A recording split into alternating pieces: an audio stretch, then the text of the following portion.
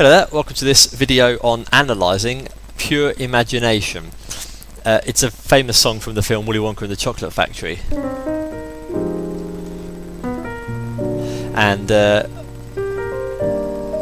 I knew this song when I was younger, but I never realised that the words are very important and I want this video to become uh, quite philosophical and somewhat emotional because it's a good example for me to demonstrate to you how to become emotionally connected with a song and how to play it in your own way. I'm going to give you the chord structure, uh, but we're not going to write it down. I mean, you can write it down with a pen, but I'm not going to. I want you to internalize it because it's the quickest way to learn a piece of music by learning it away from the piano on your internal piano, as I discussed in a previous video uh, on. Uh, I can't remember. I'll put the link here, and uh, you're going to be able to play this song very quickly, very soon. I don't mean quickly in terms of speed, I mean you will learn it very quickly and you're going to play it in a very honest way and you're also going to learn a bit of improvisation. So the video may run to 30 minutes or so or maybe more but it's going to be a very useful video for you. Before we begin I would like you to pause this video in just a moment and have a look at the links that I'm going to put here. They are different versions of this song. The first one will be the original. You don't need to listen to it all just the beginning before it starts to speed up just the first you know minute minute and a half or so before it goes into the second part and it's very or orchestral. And listen to the words. Uh, you'll understand. It's a very dreamy song but it's actually related to life because it is true that uh, anything you want to do do it. You know if you want to change the world there's nothing to it uh, things about looking around and uh, I, I, mean it's just it's such a, a, very clever song written about life and I'm a very very strong follower and advocate of the law of attraction. And I apply this uh, concept every day which is simply to demand or ask from from from the universe in a very unreligious way what you want. And through a repetition of positive uh, action it will come it's that simple. Those there are those who think they can, there are those who think they can't, and they're both correct. So this song is quite special to me in that way because I discovered I realised the lyrics just uh, earlier this year, and that's basically the same time when I came into this uh, understanding of the law of attraction. And so the song is quite special for me. So when I play it myself, I really do feel connected to it, and I like to portray the piece in a very personal way, and hopefully you will too. So pause the video and have a look at uh, this link, which is the uh, original, and then I've you'll see that there's another link here, which is uh, another version by uh, Bill Charlap, and then there's another version here by uh, Jamie Cullum. I, am not Jamie Cullum not not a bad pianist, more of a showman. But this version just gives you another take if you prefer a more modern style. But just gives you something to think about, and maybe you're going to find your own versions too. So do you have a listen to those, and maybe find your own, just to really internalise the song and start to see what it's about. Once you've done that, come back and we can continue analysing it with the chords. So now you have uh, hopefully listened to those versions, we're going to go into the song now. I'm going to give you the chords. It's based on two five ones, like almost every song in jazz, and the main key is uh, E flat. Very common chords related to E flat, but the first chord is not E flat. The first chord is actually uh, a two, which goes into a five, and then into the one. The one is E flat, so we're actually beginning on the second. Uh, second chord and the fifth chord in a, in modal theory means that the second chord is a minor seventh and the fifth is always a dominant seven. You must go to watch my video on uh, modal jazz, link here, because you have to understand modes to be able to play jazz at all. So do please do that if you need to, otherwise on we go. First chord F minor 7. I'm just going to give you the basic chords and the melody so that you can start to internalize it. And I'm challenging you to not, there's a lot of challenges recently I've noticed, but I, I mean it, I want you to change your way of thinking become a purposeful pianist who has an internal piano. Don't become a, a, physical pianist who just worries about your, your finger technique and wasting time with that. Uh, internalize it now. Don't learn this on a piano. So first chord is F minor 7. F with the minor and the fifth and the dominant 7 on top. Melody goes like this.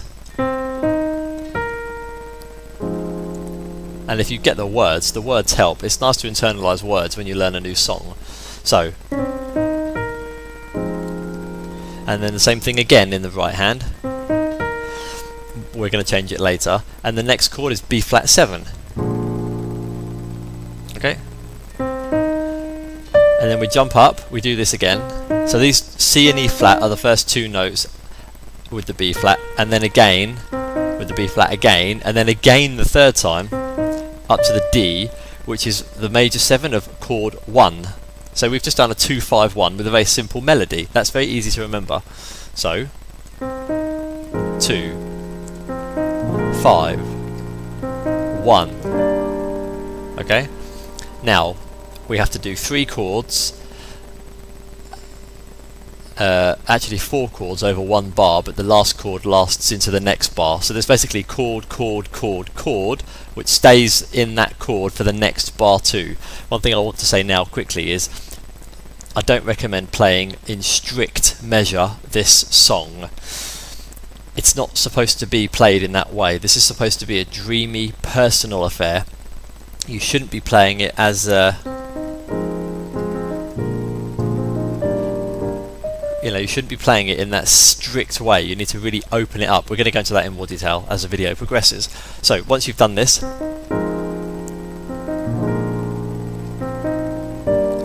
the melody goes like that. Very easy. Use whatever fingers feel comfortable. So, I'll tell you the chords for that. You're going to go to F minor 7, F sharp diminished, F sharp A, C, D sharp, D, uh, G minor 7 on the D, as you go down to the B flat, because these two notes are the middle of the G minor 7 chord. So uh, F minor 7, F sharp diminished, G minor 7, then the next chord, the fourth chord, which goes into the next bar, is is basically a C7. C E G B flat. That's chord. So F minor seven. B flat seven. E flat major seven, and then F minor seven, F sharp diminished, G minor seven. Okay. That's the first part. And then the next part mel melody again. It's based a lot on this C and E flat here because these notes work in almost all the chords. C minor, F F7 or F minor 7. Uh, fine. And even in the A half diminished, which we're going to do in a moment, it's even in that chord too. So after we've done that C minor 7, uh, C7, we're going to go F minor 7, but the melody goes to a G, which is actually which creates the chord sound F minor 7 with a 9 so F minor 9 when you have an extension 9, 11 or 13 uh, you don't need to say the dominant 7 because it's implied when you say the extension 9, 11 or 13 it's implied. So this is just F minor 9 okay in my jazz piano ebook, a philosophical approach to jazz piano demo uh, prom prom promotional video here, uh, you will uh, discover naming chords, and it's very easy. I'm not going to go into that now, but do have a look at the book.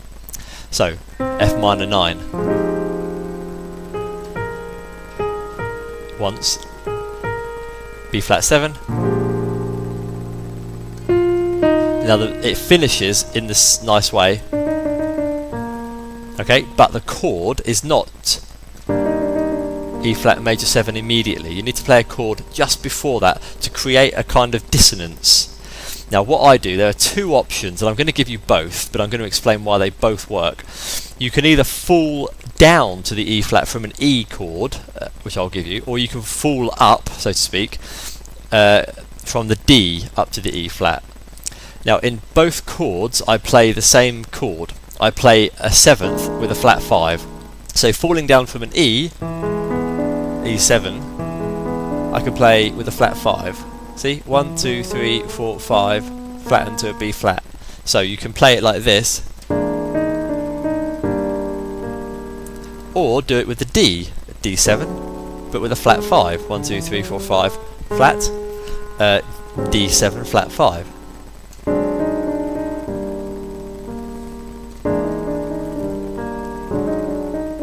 They both work, so it's your choice. Or D. I normally play the D because I like the feeling of it going up. I like the going up sound in this particular chord song, progression sequence. So, from the beginning, F minor 7 with the same melody, twice. B flat 7, 2 5 1 into E flat major 7, same melody, up to the major 7 and then F minor 7, F sharp diminished, G minor 7, which is part of the melody, C7, F minor 7 with the 9 on the melody, which is a 2 again, B flat 7, which is the 5, and then the, either the E flat 5 or the D flat 5, back to the uh, E flat major 7. You're basically going to repeat that. So let's, before we go on to the next part, which is lovely, it goes into A flat.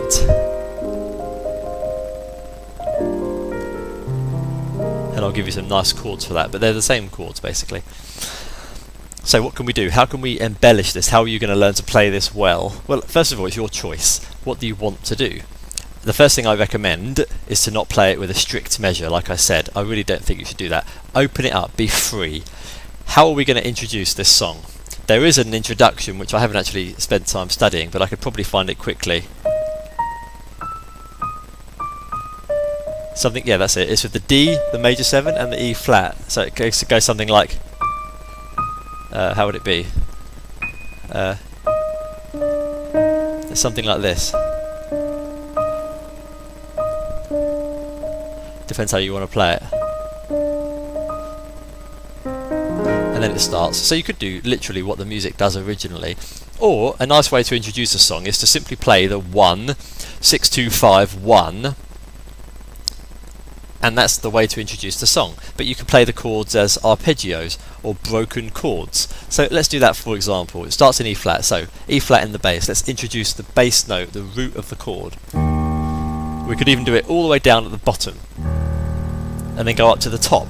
This is a dreamy, romantic, in a sentimental way, not in a love way, piece of music. So let's use the whole extent of the keyboard. Now what am I doing up here? All I'm doing, if I move my fingers down to here, is I'm playing E flat major 7 with the left, then the 9, remember this, the ninth works with any chord basically.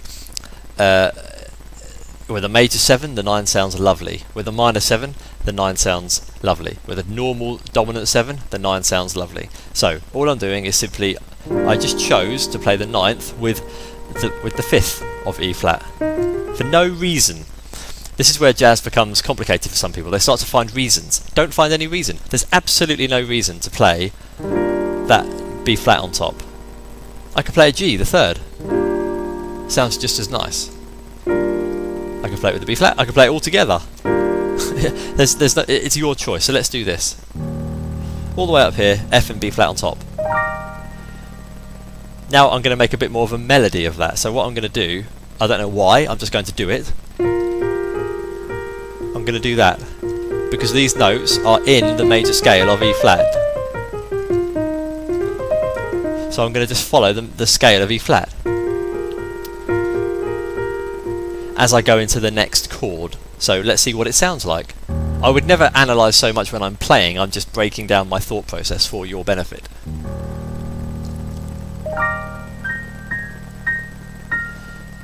Now we're going to go into uh, the 6, which is C minor 7, 1, 2, 3, 4, 5, 6.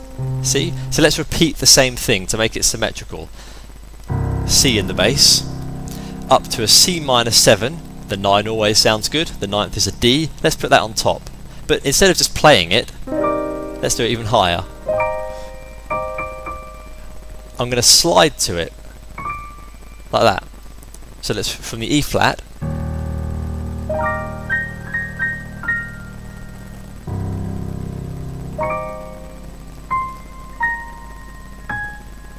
Now I'm going down the E flat major scale because I can into the F. And I'm not going to play the F in the bass this time. I've just decided. I'm going to play simply the F minor 7 here but I'm going to alternate with the ninth the F and the G. Now the next chord I'm going to go down to the B flat because it's the bottommost note. B flat 7 but uh, the G is the 13th 8, 9, 10, 11, 12, 13 that sounds nice Hear that extension? So I'm going to alternate between the 5th, the F, and the G, the 6th or the 13th, technically. It's a 13th because the dominant 7th is being played. So it's as if we're counting from here. This is the 13th. Dominant 7, 8, 9, 10, 11, 12, 13. So let's do that from the beginning.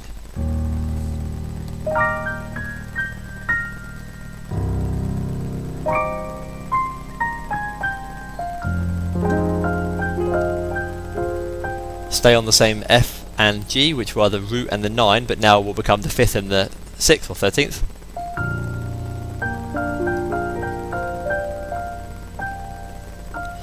That is a nice little introduction. So what I did is I, I walked up, or that was my plan anyway, to walk up that B flat 7 chord, walking up in an uh, arpeggio, playing any fingers because I'm just I'm not rushing, just playing any notes. So once more and I won't do it again.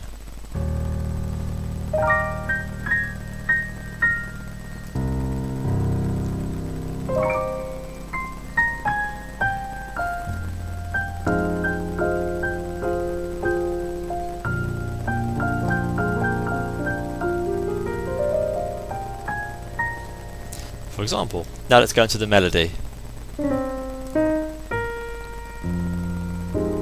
I'm playing F minor 7, but I'm adding a 9.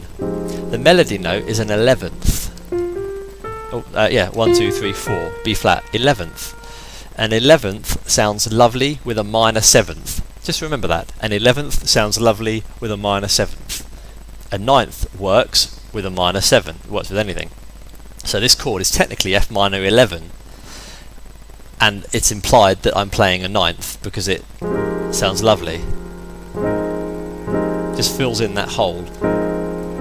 Lovely sound. So I'm going down to the C in an interesting way.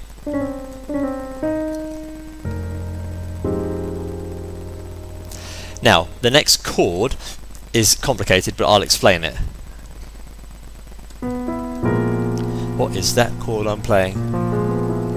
Maybe you could pause the video and guess. So the melody should be this It's too easy. I'm modifying the melody by playing the e extension notes of the chord, which gives it a much more tasty uh, feel. It's a bit more dreamy. I like that. So, what is it? E B flat with a 7. I can play the third, or not, I'm just being a bit lazy. So here I'm playing 8, 9, the B is a flat 9. Flat 9 is lovely when the chord goes up a fourth. B flat is going up to E flat, that's going up a fourth or down a fifth. So, I'm playing the flat 9, which works in any key. It's a nice, uh, nice sound with a dominant 7. And then here I'm playing an E. 8, 9, 10, 11, sharpened. I'm playing a sharpened 11th. Quite interesting. You have to remember that a sharpened 11th uh, works with dominant 7th chords and it works with major 7th chords. But it doesn't work with minors really. Sounds a bit strange. The sharpened 11th. The 11th is nice the sharpened 11th in a minor 7th doesn't really work. It's too clashing. So I'm playing a sharpened 11th with a dominant 7th, and it's not a minor chord. So,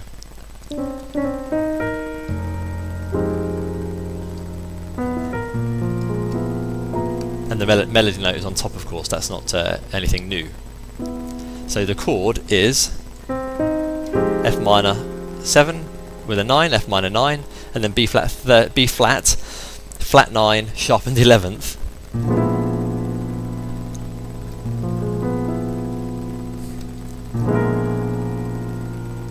Quite a nice sound. Then, up to the E flat major 7, just simply play a major 7 here. E flat major 7. What I'm doing up here highlighting the major 7 by playing an octave, whacking in the third and the fifth in the middle because they are nearest, why not? I could put an F here which is the ninth if I wanted to, but it kind of kills the melody a bit there. F minor 7, F sharp diminished, G minor 7 to C7. So what are we going to do with these chords? Hmm, let's have a look. Um,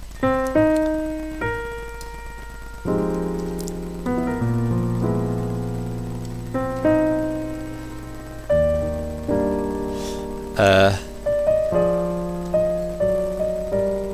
oh, if you can reach this, it would be nice. But if not, you could probably duplicate. You could probably share the chord between the fingers. Uh, yeah, do that. Yes. So, uh, if you have a big enough hand, just highlight the root and the minor third from the F minor 7 chord F sharp diminished has a has a minor third because it's a diminished chord. Has a minor, flat five, and a sixth on top. And then the G is a minor because it's a G minor seven. So you're you're literally playing, which is nice. But spread it out if you can. Even for me, it's just a bit of a stretch, but I could just do it. But even if you open it, it sounds nice. And then the next chord. So you can do that, or if you can't reach it, simply play uh, with the right thumb the top half of this of this minor third rising as you do this in the right hand, which is which is actually the words pure imagination. So you you would be going.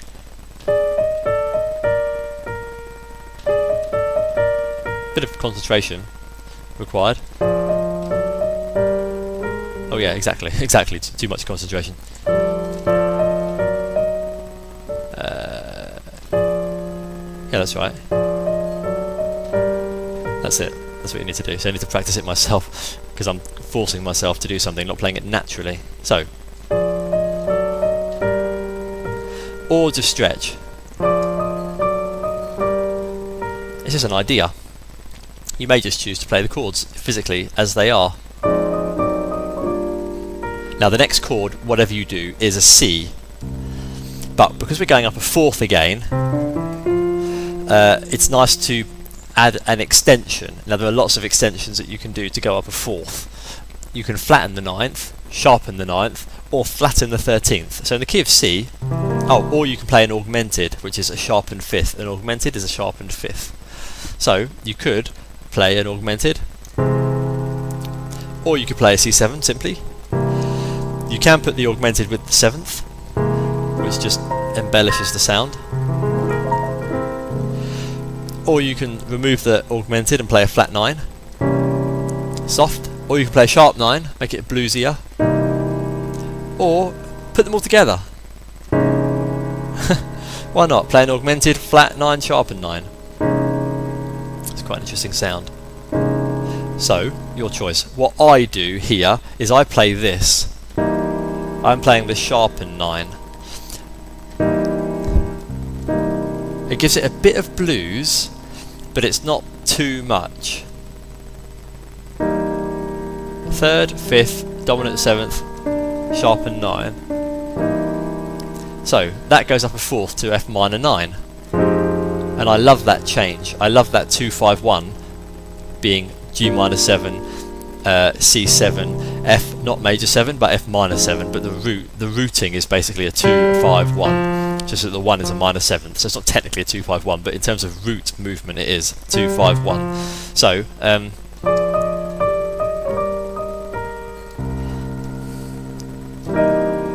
I'm just playing the chord the same chord with two hands.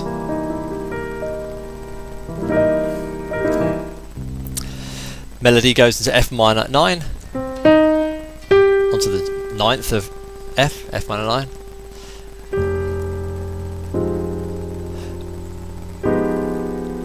What am I doing here? Do you see this? I'm playing a sh uh, sharpened 11th.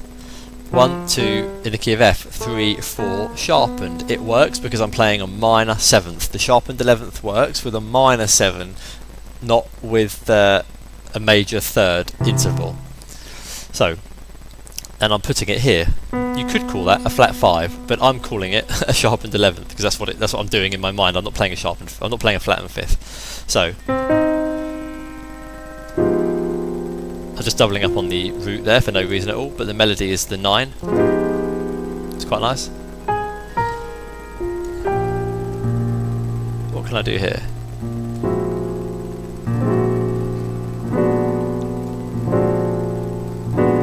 Sounds nice. With a, with a so B flat seven in the left hand. I'm playing a nine, the third. This is a flat 13. 8, 9, 10, 11, 12, 13, flattened. As I go into E flat major 7 again, with a 9 on top. So let me just do that, uh, I'll do it from the beginning.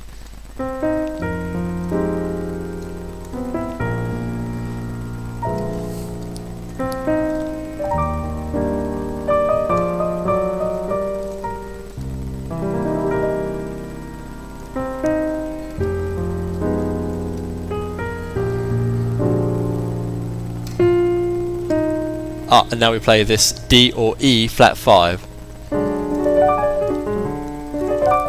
This is a good technique to practice your finger speed. I'm playing a D7 flat 5 or I'm just playing a D flat 5.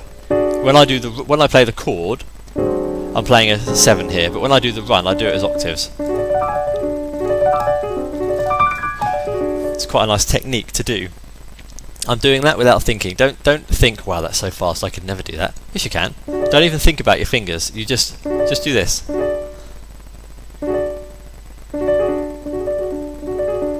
Don't even think about it. You're not you're not trying to play fast. You're just filling in a space which works. So I'm doing it quickly by doing it like this. I'm using my little finger as a pivot point to bring up my thumb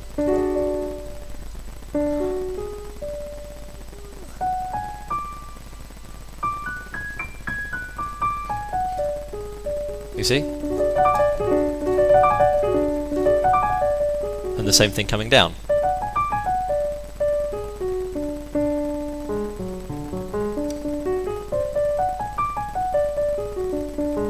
Just do that. Sounds quite nice. So from the beginning.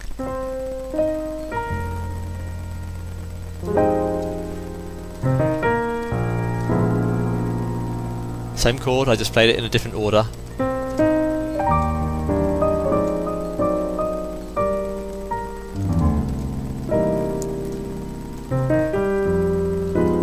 See, this time I doubled up on the sharpened 11th on top. Now I played the melody and then I played that chord because you got a movement.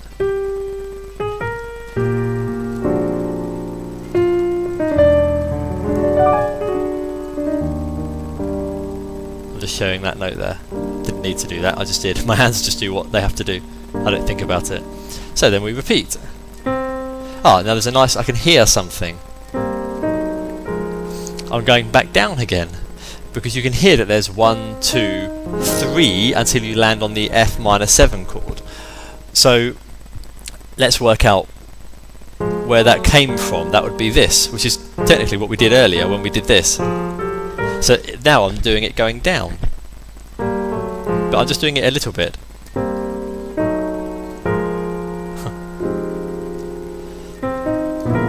so now that time I played the correct melody, but I came back in to play the chord that we did the first time. But let's modify that chord, let's not do that chord. Let's play this time a normal 9, not a flat 9, and um, maybe just a third. Or a flat 13. Oh, that sounds nice. So let me see how that works.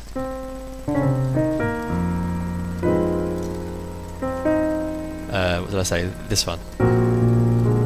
Uh, okay, fine, it's a bit funny, but it's not wrong. It sounds nice when you play the normal melody and then come back onto that chord rather than doing it as a chord like that. It sounds nice to do it after the melody.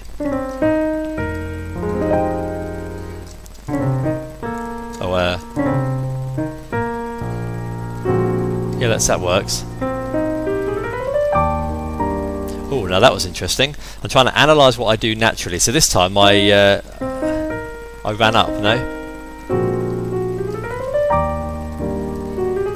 I just ran up, I think, from the uh, F sharp, G flat there, um, to the melody. But I noticed that I just I just played this note. Sharpened 11th works with a major 7 and a normal third in E flat 8, 9, 10, 11. It's the A flat sharp, so it's an A. And that that is what I played in the right hand, just. I just heard it. If you go back in the video, you'll notice. I just played something like this. No idea why. So.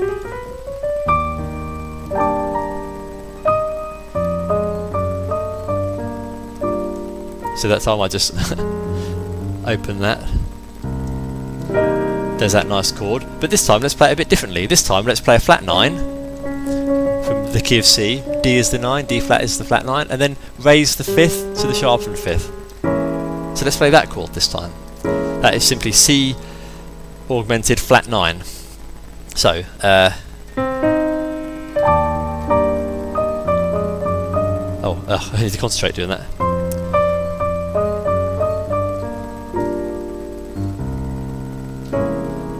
C flat 9 augmented, I see augmented flat 9.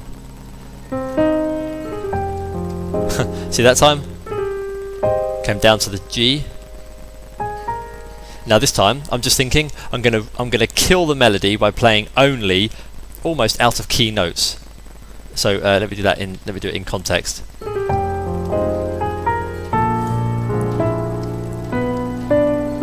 I don't know why, that just felt right to do that. It just felt right to go out of key suddenly and just suddenly surprise the listener because it's all been nice, no?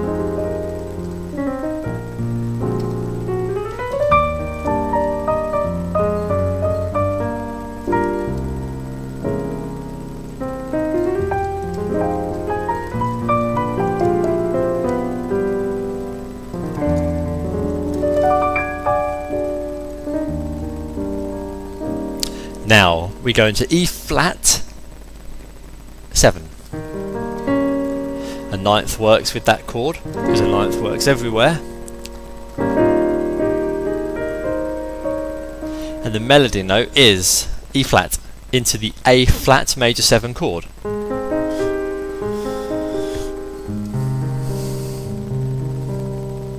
Uh, you're going to go, if you want to view paradise.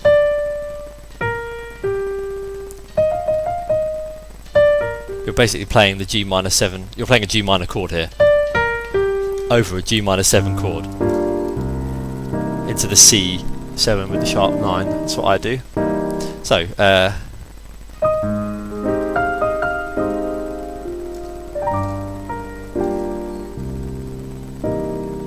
Now I love that change, I just love that. So you're going from the end of the previous part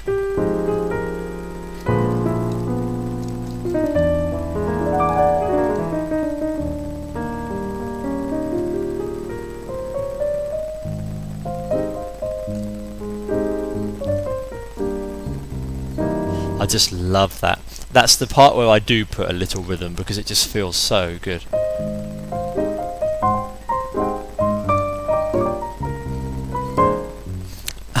so I don't know what I'm doing. I'm just playing notes which are safe.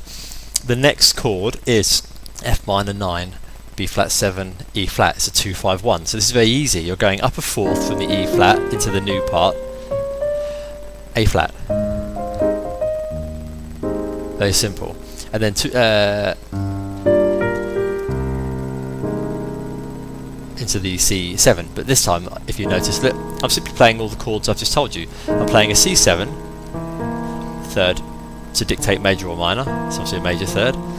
Sharpened 9 and the augmented. I've told you that they're safe notes to play already when you go up a fourth, and we are. C, going up a fourth into the F minor 7 with a 9, F minor 9.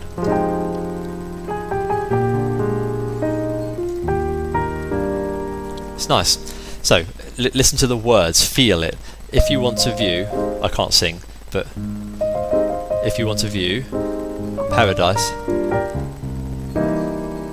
Now notice how I'm going down a semitone. It just gives it a bit of a flick because I'm trying to create a little bit of rhythm for just these few bars.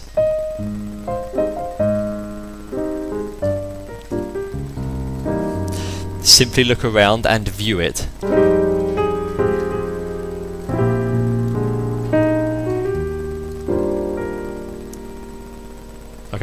So what did I do? The melody is, but there's no reason I can't play a C because it's just the third, an absolutely safe note.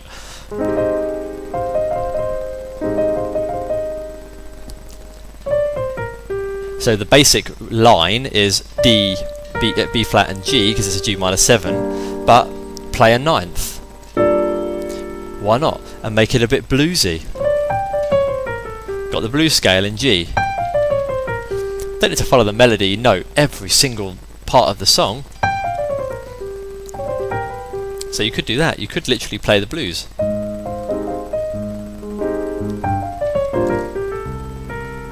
as you come into the C chord. Uh, just joining up the sharpened fifth as we come into C. We're next to the, the ninth, which is the next chord. I'm simply playing F minor 7 here, but with a 9 on top and bottom.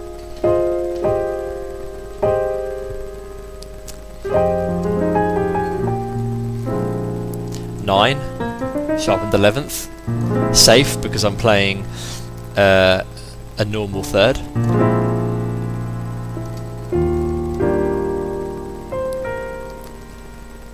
Now the next chord is when it goes into a A minor 7 flat 5. So let's work that out. Here's A major 7. A minor 7, not A minor major 7. Flat 5. A, C, E flat, G. Let's put the A on top. That looks like C minor sixth. Let's put the C on top. This looks like E flat, there's the third, this is a flat five, and the uh, seventh, the sixth on top. I like to play this chord, A minor seven flat five, or A half diminished, in uh, in the key of E flat. I just like you can play the A in the bass, but I like to play this position because that's going to go this is a 251 in the key of G but only in terms of root not in, not in terms of chord type so 2 5 1 but it's going to a G. So the melody goes.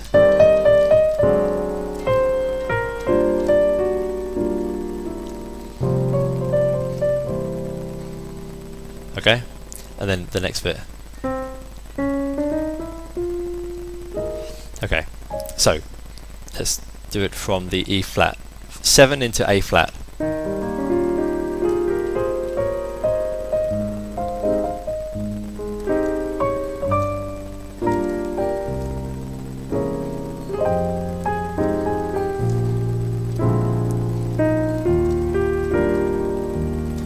Now we need to go from E flat to the A minus 7 flat 5 to a D7, but I play a flat 5 again. It's a G minor 7. Now I move the, the, the G minor 7, I, I go to it from G minor, G minor major 7, and then G minor 7, and then even G minor 6 if there's space. So, from the E flat, I like to just just run down.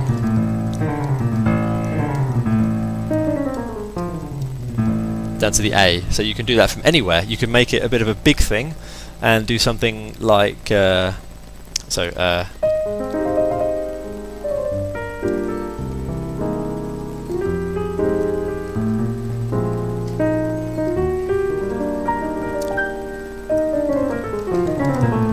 just I'm just chromatically running down to the A highlighting the D with the flat 5 for two hands. It looks, maybe it sounds good, but it uh, it's not hard what I'm doing. So uh, from the E flat.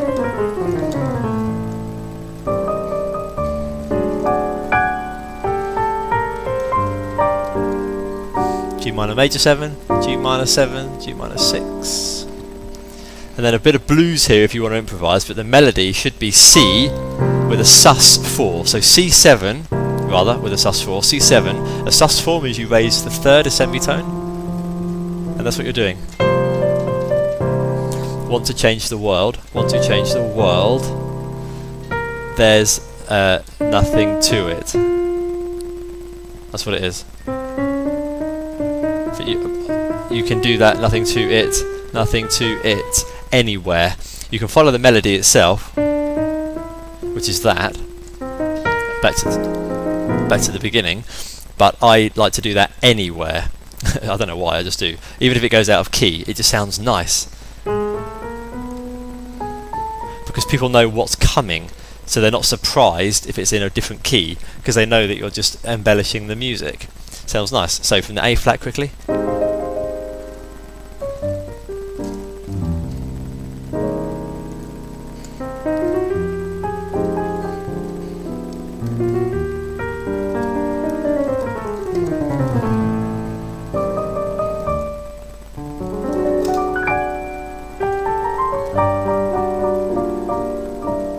then the C sus. Now that bit you can do a bit of blues, you could literally not even play the melody. Want to change the world, you can just change that completely, change the piano world and just simply do anything. Just do something in the blues scale. That's what I might do. So have a study of that.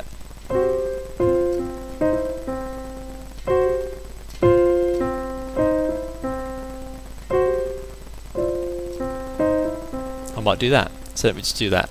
Um,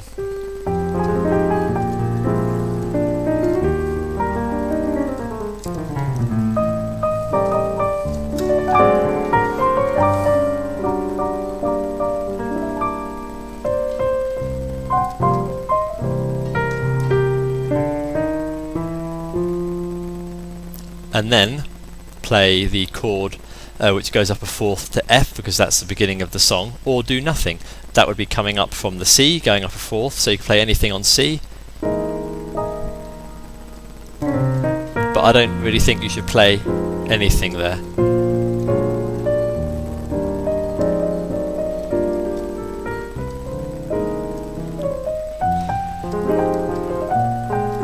Now the end, when you end a song, in jazz, it's really nice to go to the third diminished. And then to the sixth not as a minus not as a dominance not as a minor seventh like it should be in modes. Too serious. Play it as a dominant seven. So play it as a nice jazzy chord. Play it as a uh, 13th 13 7th 3rd 6th So you could do that, and, and it, as that's the that's the voicing of a thirteenth. You can slide from the minor third to the uh, third little cat. So you could do that. Uh, what fingers would I use? Probably this, my middle finger. So you could do that. So let's go from the A from the A minor seven flat five.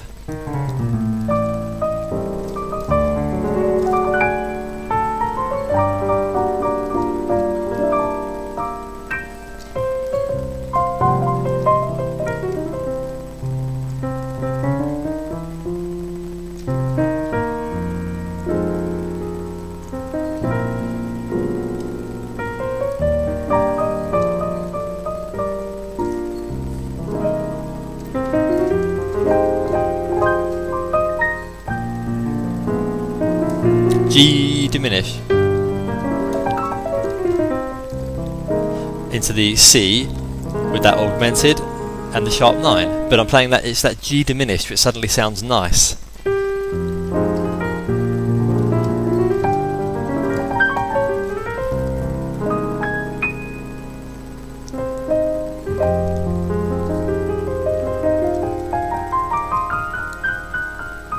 Now I'm going to hit the blues note here. Minor third in E flat, but the augmented, the sharpened fifth in B flat. That's fine because we're going up a fourth to E flat, so that will work. Onto E flat. And then it's nice to go up the alternate notes of the chord. This is an E flat major 9. And I'm going up them alternately.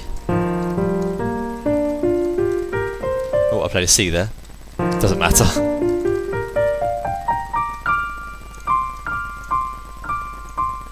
nice. So, the, let's go from the beginning, basically.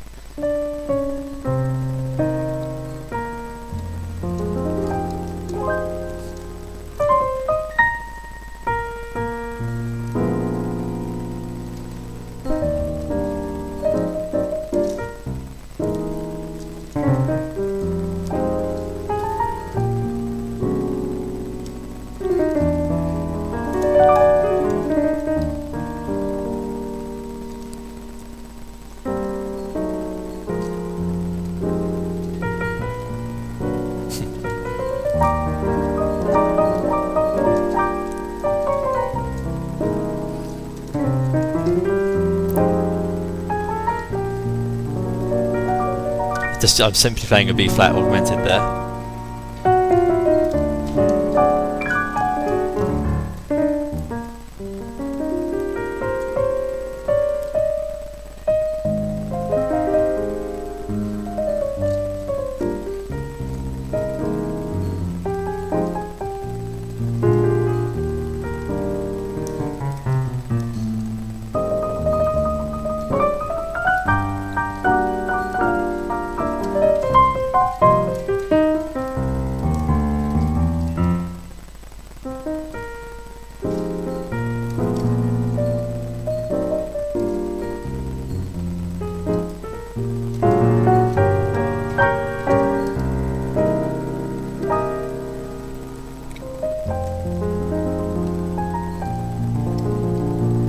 Doing it again.